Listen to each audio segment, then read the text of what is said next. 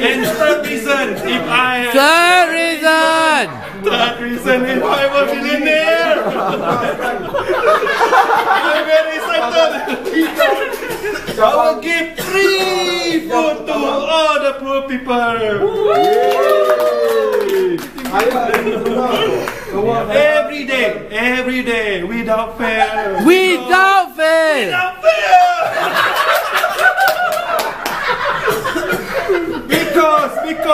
I have so much food in my house.